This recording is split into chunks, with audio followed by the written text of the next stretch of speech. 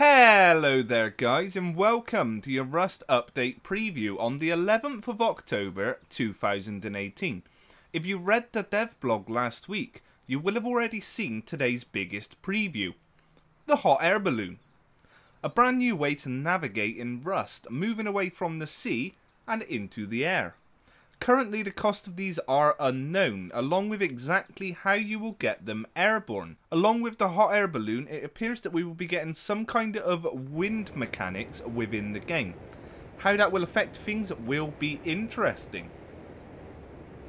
After the cargo ship being let loose last week, there were some issues with it. Work has gone on to fix those issues. There's also been an additional update to get these fixes live today. That is optional and it is down to server owners to apply it. A tweak to another thing from last week is also now on staging.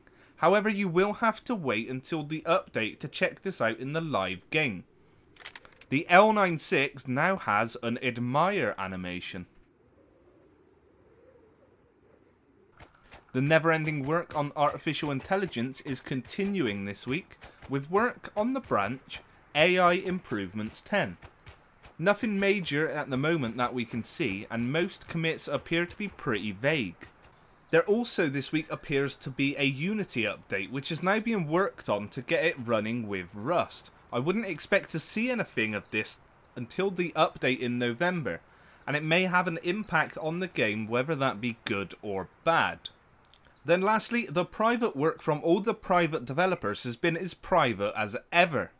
There are still a whole bunch of work going on that we can't actually see and we still have no word exactly on what it is. That is everything that I have for you guys this week and I hope you have enjoyed. If you have, make sure you hit that like button and if you would like to see more content, make sure that you are subscribed. Thank you very much guys. Have a good day.